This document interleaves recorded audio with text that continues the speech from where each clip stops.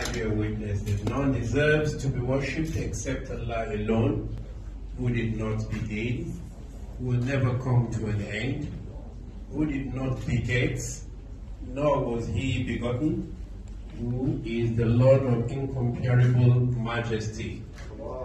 And I bear witness that our leader and patron Muhammad is the messenger of Allah and his apostle. May Allah bless him and give him peace, Amen. including members of his household, Amen. his faithful companions, Amen. and all those who follow the guidance that he brought until the day of Qiyamah. I pray Allah subhanahu wa ta'ala to continuously bless you and I Amen. and make the attainment of excellence and all good things very easy for us. Ameen, ya Rabbal subhanahu wa ta'ala for the grace of giving us today